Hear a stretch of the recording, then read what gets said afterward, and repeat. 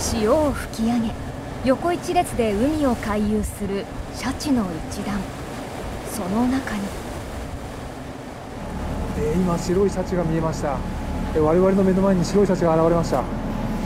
幻と言われる白いシャチです。サンデーステーションの取材班が捉えた世界でもほとんど確認されていない白いシャチ黒い仲間のシャチとは明らかに違うことが一目でわかります。仲間のシャチと大海原を回遊する白いシャチ。映像を確認するとアイパッチと呼ばれる目の部分と周りの色が少し違うのも分かります。向かってきてるのでこのまま流します向かってきてますからね。近いですよ。白いシャチは警戒する様子を見せず船のすぐそばまで近づいてきました。白だね。めっちゃわかる。体長はおよそ8メートル。成熟したオスのシャチとみられています背後に広がるのは知床連山です。この白いシャチの撮影に成功したのは羅臼漁港からおよそ7キロの地点。海面から突き出た背びれはおよそ2メートル。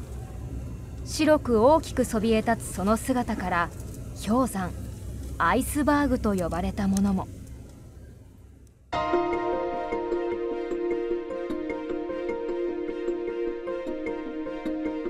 シャチは普段から家族で行動していて平均10頭から20頭。多い群れでは30頭近い家族もいるといいます。上空から見てみるとこの家族は14頭いることが確認でき子供のシャチがいるのが分かります。珍しいですね。何回か目撃情報もあるんですけどそんな数は多くないので実はこの羅臼町の沖合ではこれまでに何度か白いシャチが目撃されています。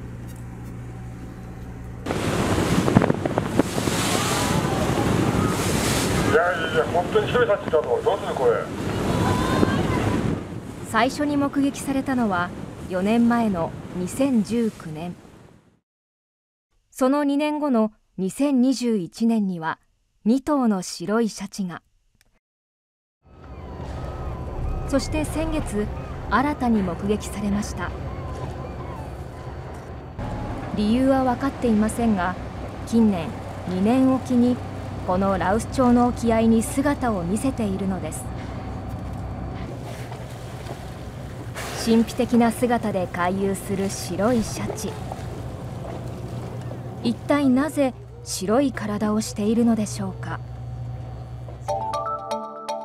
あの個体に関してえー、なぜ白いのかというのはちょっとわからないですね、まあ、可能性としてはもちろんアルビノということも考えられるんですけれども、アルビノでなくても白く体色が変化する場合はありますので、でそれを調べるためには、えー、遺伝子を調べる必要がありますので、今回はちょっとわからないですね。